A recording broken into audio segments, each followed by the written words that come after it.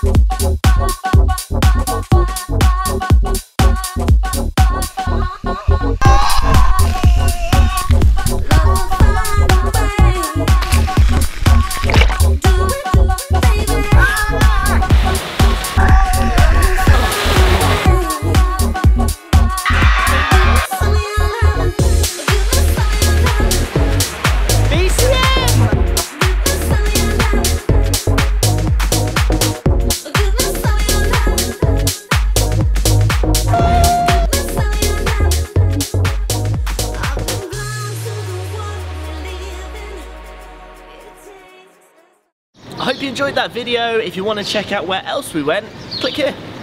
Or click there. But probably click there.